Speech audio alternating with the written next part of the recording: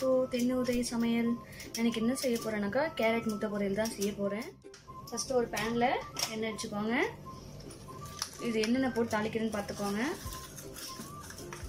கொஞ்சமாக சீரகம் கொஞ்சம் கடுகு கொஞ்சம் உளுந்து கொஞ்சம் கடலைப்பருப்பு. இது பொரியும் போதே கொஞ்சமாக பூண்டு. நான் வந்து ரெண்டு பல் பூண்டை நறுக்கி வச்சுருக்கேன். கூட அஞ்சு பச்சை மிளகாய் சீனி அதையும் சேர்த்துக்கலாம்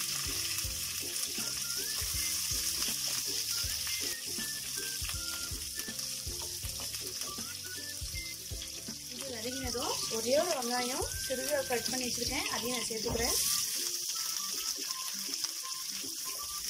கொஞ்சம் பெருங்காயத்தூள்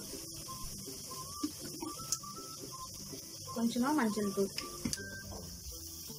இது வதங்கினதும் வந்து நாலு கேரட்டு நல்லா சுருக்க சீவி வச்சுருக்கேன். இதை நான் சேர்த்துக்கிறேன் இது கூட.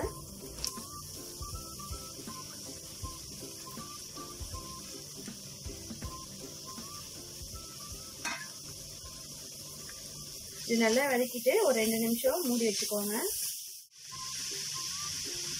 ஒரு கால் ஸ்பூன் கிட்ட நான் உப்பு சேர்த்துக்கிறேன். நீங்கள் தேவைக்கேற்ப சேர்த்துக்கோங்க.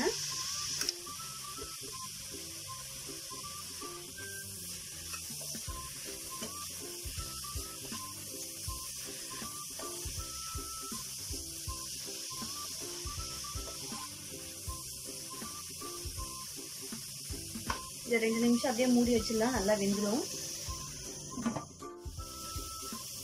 காய் வந்து ஒரு லெவலுக்கு வெந்துட்டுருக்கும். இந்த ஸ்டேஜில் நம்ம வந்து முட்டையை சேர்த்துக்கலாம். நான் வந்து நாலு கேரட்டுக்கு நாலு முட்டை சேர்த்துருக்கேன். இன்னும் இது கூட சேர்த்துக்கிறேன். இதை நல்லா மிக்ஸ் பண்ணி விடுங்க. காயோட நல்லா வந்து மிக்ஸ் ஆகணும். அப்போ தான் சாப்பிடும்போது சூப்பராக இருக்கும். அப்பப்போ கிண்டி விட்டுட்டே இருங்க. அப்போ தான் வந்து அடி பிடிக்காமல் இருக்கும். கேரட் முட்டை பொரியல் வந்து சூப்பராக ரெடி ஆயிடுச்சு. வாசனை சூப்பராக வருது. இதை பாருங்க. அவ்வளோதான் இது குழந்தைங்களுக்கு சாதம் போட்டு அது கூட கொஞ்சமாக நெய் விட்டு இந்த காயை போட்டு நீங்கள் பிசைஞ்சு கொடுத்தீங்கனாக்கா குழந்தைங்களும் அவ்வளோ அழகாக சாப்பிடுவோம் மிச்சமே வைக்க மாட்டாங்க. இது மேலே கொத்தமல்லி தூவிக்கிறேன். அவ்வளோதாங்க முடிஞ்சுது.